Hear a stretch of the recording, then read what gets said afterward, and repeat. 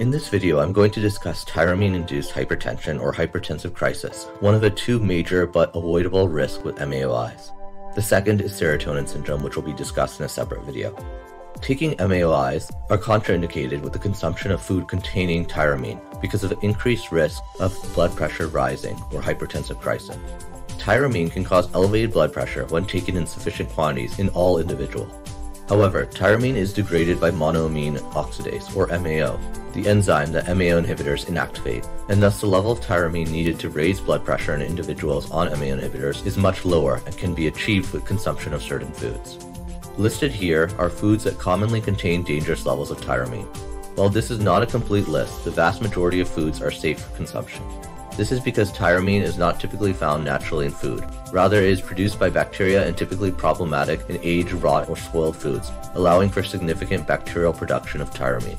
To reduce the risk of tyramine-induced hypertension, one should eat fresh foods and research tyramine content of foods they enjoy while understanding the risk of tyramine levels may vary from what is cited for various reasons, including a difference in the age of the foods cited in their research versus the foods the patient desires to consume. The mechanism by which tyramine causes a raise in blood pressure is through entering the norepinephrine reuptake receptors and displacing norepinephrine from the cell. Thus, one way to reduce the risk of MAO-induced hypertension is through consumption of nortriptyline or desipramine. Both nortriptyline and desipramine significantly block tyramine uptake from norepinephrine reuptake receptors through their norepinephrine reuptake inhibition at relatively small doses. 50 mg daily of nortriptyline and 100 mg daily for desipramine. However, these medications can cause side effects, particularly when they are first started, including increased fatigue, which is typically improved at higher doses, and worsening orthostatic dizziness, which improves over the course of days to weeks. Additionally, while desipramine is associated with weight loss in some individuals, nortriptyline is more commonly associated with weight gain. A second method of reducing the risk of tyramine-induced hypertension is through taking selegiline in its sublingual or transdermal form, i.e. EMSAM. MAOIs swallowed orally enter the gut directly where they inhibit a large portion of gut MAO or monoamine oxidase. When selegiline is taken as a patch or sublingually, the drug is diluted in the systemic blood supply and only a small portion reaches the gut MAO. Since gut MAO is responsible for degrading most of the tyramine consumed in food, selegiline in its sublingual and transdermal forms are less likely to induce tyramine-induced hypertension. However, since gut MAO inhibition occurs, a tyramine-restricted diet must still be followed.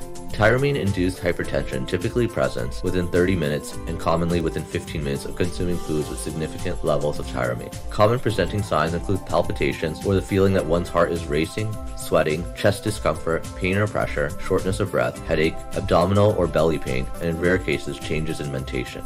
People who are experiencing any of these symptoms should attempt to measure their blood pressure and obtain emergency medical services, as even a normal or mildly elevated blood pressure in the setting of these symptoms may be due to a much higher blood pressure that the monitor is not able to read. Additionally, patients who have consumed or possibly consumed a large amount of tyramine should seek emergency medical services.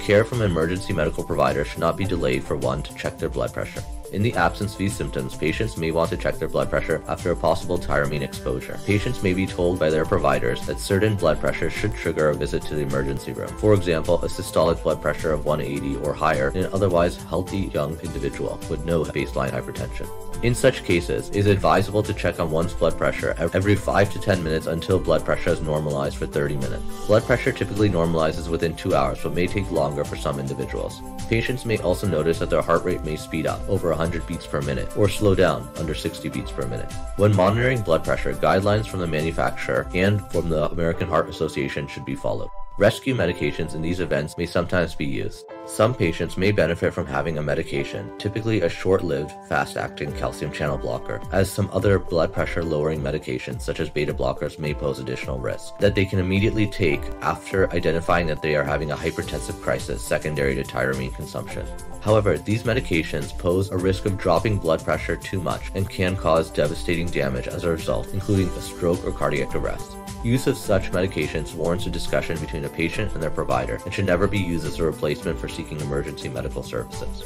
Overall, severe tyramine-induced hypertension is rare, but patients should still exercise caution with the foods they eat while on an inhibitor.